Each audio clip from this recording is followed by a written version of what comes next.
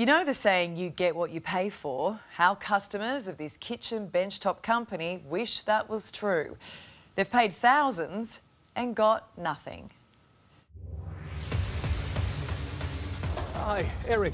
Uh, Seb Costello with the Current Affair. We just want to have a chat about FCA Stone.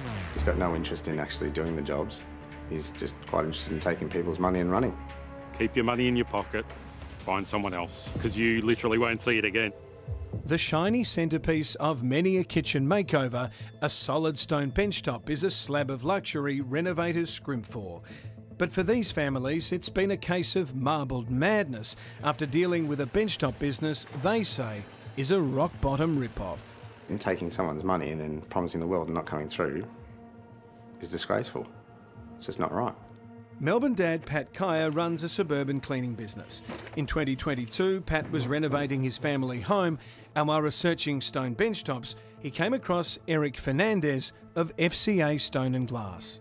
He came out and quoted, he came out and measured up, and when it came to the money side of it, it turned pear-shaped. After going back and forth via text, Pat says Eric asked for a $6,500 deposit, which Pat paid in cash.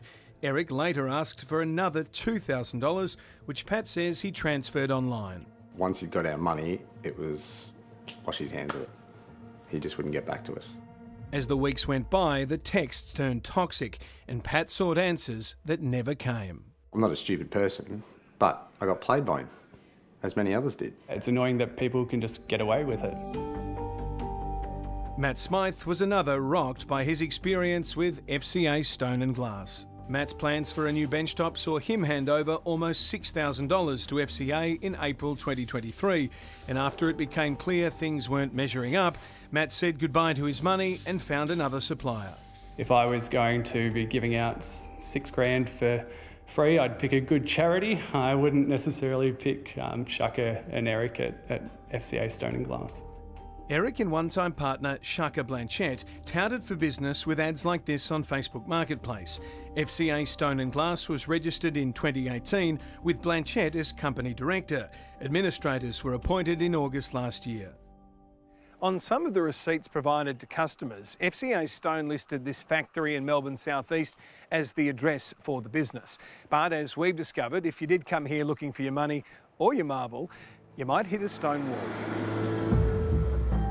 Vu runs this factory. He says he did some work for Eric, but not anymore. So just to be clear, Yep. this address is listed on the invoice. Yep. Was FCA Stone ever based here? No. I asked them to remove it off.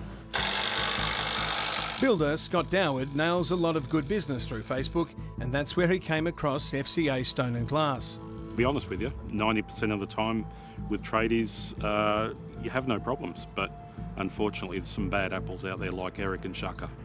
Scott still got the receipt showing he paid $4,700 in December 2022, but Scott's benchtop never surfaced. We got into early February, um, and basically the conversations got nastier. And he pretty much just told me, if you're not happy, take it to a current affair, go to VCAT, good luck. I'd like to see how it turns out. Well, this is how it turned out when we found Eric at home. Hi, Eric. Uh, Seb Costello with the Current Affair. We just want to have a chat about FCA Stone. You need to speak to the owner. By owner, we assume he means listed company director Shaka Blanchette. Mate, don't ask me, mate. Eric, do you mind stopping and having a chat to us? Eric?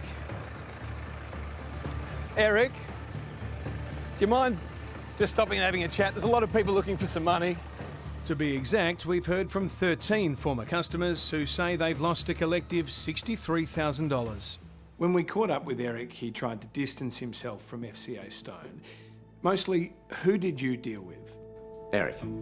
Eric was the main person I dealt with. In the end, we dealt with Shaka as well. And as for anyone who might come across FCA Stone, Shaka, or Eric, Do not deal with him. End of story. Just don't deal with him. Well, it seems Karma and the cops have caught up with Eric and Shaka. Victoria Police say they'll be laying charges.